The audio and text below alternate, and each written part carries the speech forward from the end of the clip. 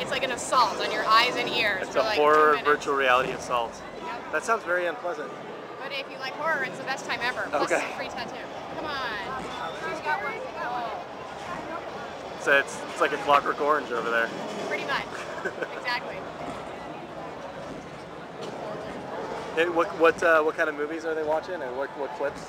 Um, all these movies up here, Okay. uh, and all the unrated versions of them. And there's a couple of others that aren't shown there. Those are the ones that are coming out on Blu-ray. Yeah. So, Have you have you had any deaths or heart attacks? Has anybody passed out? no, we've had some screaming. We haven't Okay. had any passed out. People appear to be smiling. Actually, that's that's kind of counterintuitive, right? Well, I think there's uh, an element of just such terror that you don't know what to do except for Okay. just sit there and laugh. I see. It moves too quickly. Is there is there like a is there like an age limit if you're under a certain age? Can you No, not I- look at it? All right. Where if you're uh, with your parents, Okay. like the kids do. Have you had a lot of kids? We've had a few kids, and I Yeah. thought they were small, but Okay.